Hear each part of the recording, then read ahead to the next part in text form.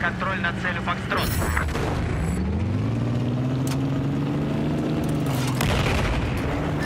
Мы теперь контролируем цель Чарли.